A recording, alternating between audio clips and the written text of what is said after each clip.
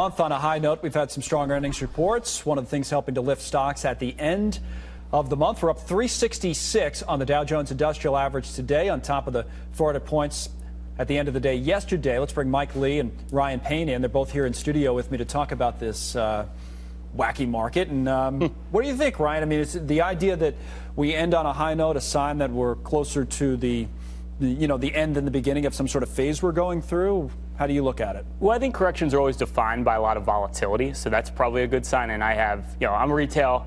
I deal with a retail investor. They panicked a little bit last week. I don't know if they did for you, Mike. To me, that's always a good sign because they're always a negative indicator column. Well, it was interesting because we had a guest. uh, We had a guest on last hour. It's basically said the same thing. We were talking at the time about where to find yield and and this environment of rising interest rates. She was saying, yeah, some of her clients uh, came into her, and she kind of had to remind them that you know you could actually own bonds also, not stocks. That there are play other places, but you know people have to adjust and kind of get used to the environment that we're in. What are you noticing? So. Um, interest rates are going higher. I believe the volatility that we got earlier this year and the volatility we have now is from interest rates starting to come off their lows.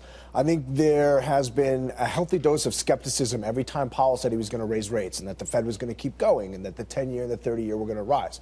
Um, every time that that skepticism goes away and becomes a reality, right. Uh, that's when I would say more institutional investors, more fast money investors hit the panic button, hit sell, and we just see a tremendous amount of volatility. What's the bullish case? I know you're you're bullish. Um, I've seen you be appearing on other shows. You say you long term you're still a, a, bullish guy. Now I get somebody like Dennis Gartman who comes on the other day says we're already in a bear market.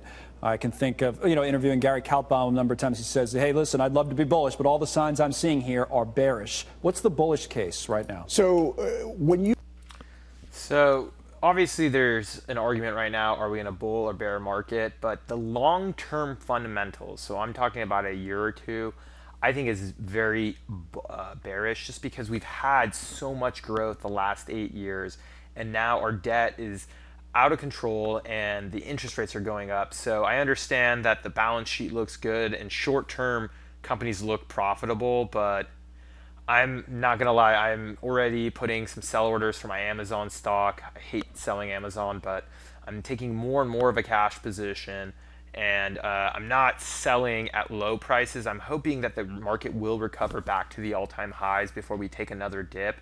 But long term, I've already positioned my portfolio to be close to 50% now cash so I can obviously buy the dip and I am also buying certain shorts of the market or there's ETFs you can short as well. So I am going into a defensive mode, but like I said, I still have about 30% equities and bonds, and the main reason is that if there is a, a continued growth, I'm not going to miss that. Um, so uh, my toe is 30% in, 70% defensive. But let me know what you guys think about this, and I will talk to you soon.